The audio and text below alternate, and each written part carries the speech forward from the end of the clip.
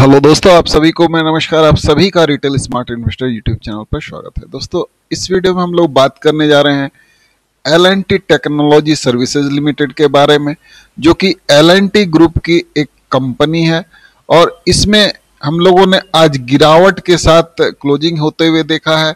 ये सत्ताईस सौ पर क्लोजिंग दिया है और अगर इसके 52 वीक हाई की बात करें दोस्तों तो ये अट्ठाईस सौ देखने को मिल रहा है।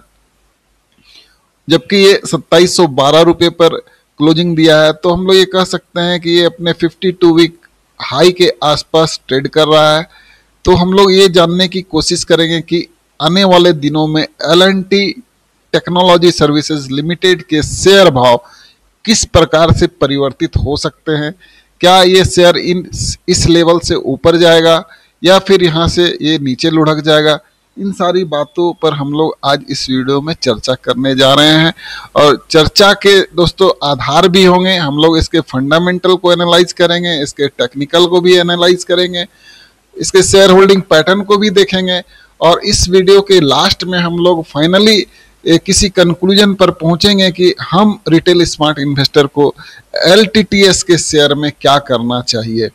तो चलिए दोस्तों, इस वीडियो को स्टार्ट करते हैं और सबसे पहले हम लोग टेक्निकल चार्ट को देखते हैं। यहाँ पर स्क्रीन पर दोस्तों हम लोगों को टेक्निकल चार्ट देखने को मिल रहा है और ये डेली चार्ट है।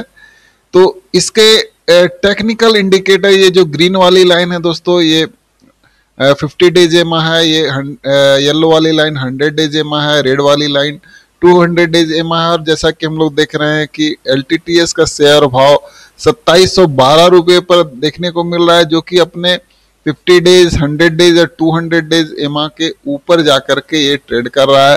तो हम लोग ये कह सकते हैं कि ओवरऑल एलटीटीएस का जो शेयर भाव है, वो बुलिस फ़ेज़ में चलता हुआ देखने को मिल रहा है। दोस्तों, जैसा कि हम लोग देख रहे हैं कि एल टी टी एस सत्ताईस सौ बारह रुपये पर क्लोजिंग देता हुआ देखने को मिल रहा है। और ये दोस्तों, इस लेवल पर अगर हम लोग एक, यहाँ पर लाइन खींच दे जो कि स्ट्रॉन्ग रेसिस्टेंस का काम कर रहा है और इस रेसिस्टेंस को ये शेयर जो है कई बार पार करने का कोशिश किया, यहाँ पर देखिए पहली बार कोशिश किया, फिर यहाँ पर देखिए दूसरी बार किया और आज इसने तीसरी बार कोशिश किया, लेकिन इसमें फिर से गिरावट देखने को मिली है।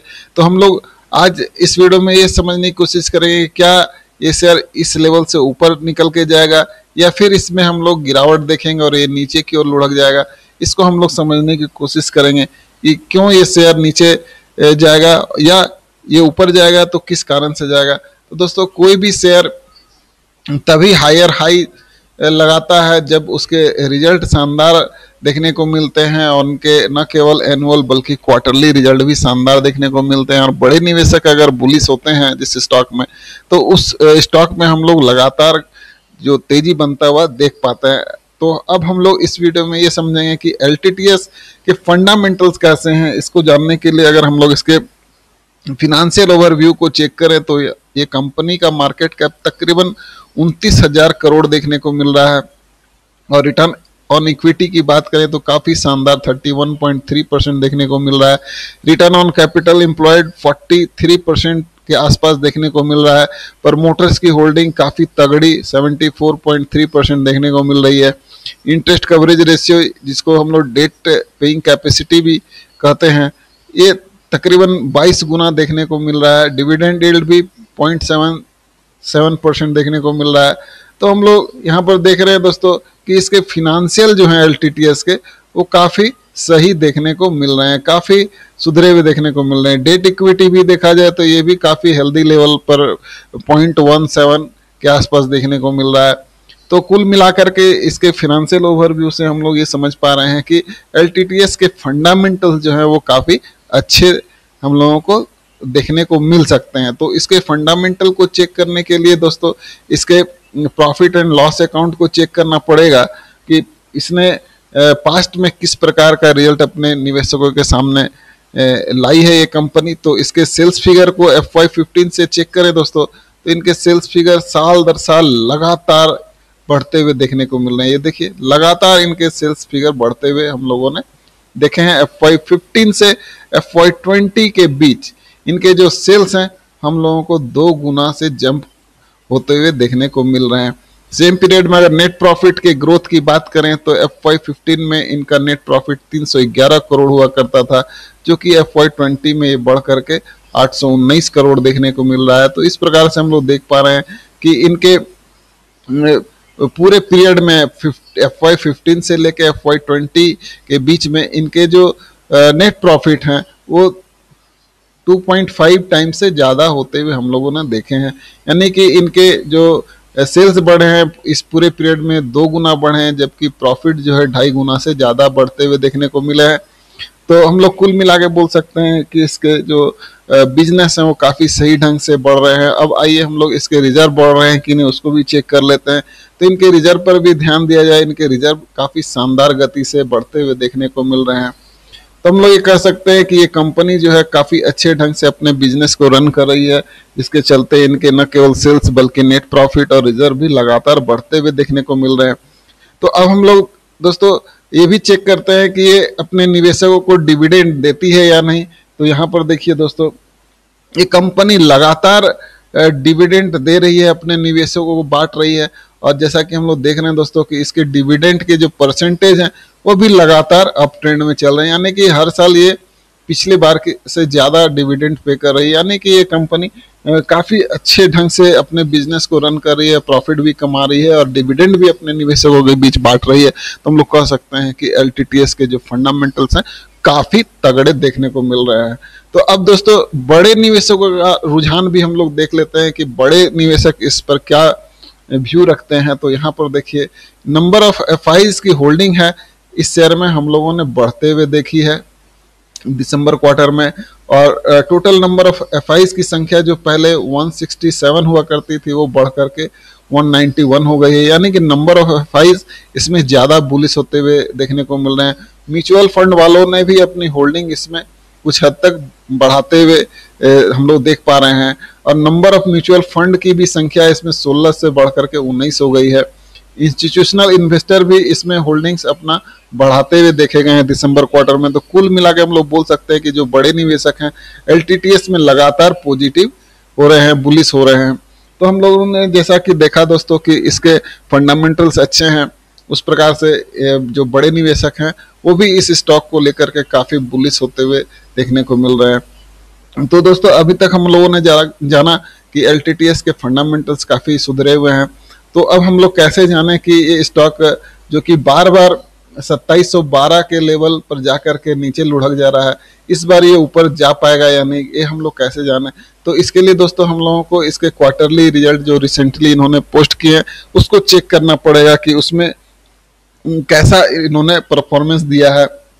तो दिसंबर क्वार्टर की बात करें दोस्तों तो दिसंबर क्वार्टर में इसने 1401 करोड़ का रेवेन्यू रिपोर्ट किया है, जो कि लास्ट ईयर ये 1423 करोड़ देखने को मिल रहा था। तो इस प्रकार हम लोग देख रहे हैं कि इनके जो रेवेन्यू है, वो प्री कोविड लेवल के आसपास नहीं पहुँच पाए हैं। यहाँ पर निगेटिव ग्रोथ देखने को मिल रहा है।